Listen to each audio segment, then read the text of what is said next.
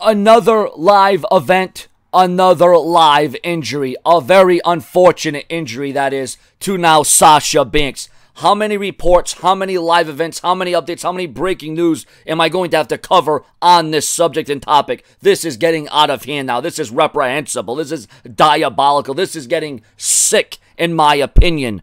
Sasha Banks reportedly, and this is by Dave Meltzer of the Wrestling Observer newsletter, reports that Sasha Banks was being kept out of the ring for storyline reasons. Squared Circle uh, now reports that Sasha was injured on the May 15th WWE live event in VA.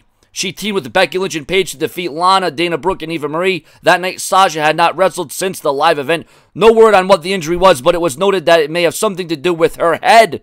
The report also stated that the injury is why Sasha is being pulled from appearances that she was scheduled for. And ladies and gentlemen, I am just absolutely appalled. I am sickened by this. I cannot believe that this has happened and this has transpired. And I can't believe that this news is coming out a week later. What's going on? What's happening? I quite frankly don't understand, ladies and gentlemen. They need to put limitations. They need to take some time off. They need to just cut back on these live events. It's getting too much. They are pushing that envelope. I mean, we don't even get this good stuff on Raw and SmackDown. They're putting it on live events, and now people, guys, girls, women, superstars, they're getting injured left and right. And remember, to support Beat the Views, to have this thing light up, to have the bright stars, to be more shining than the shining stars themselves.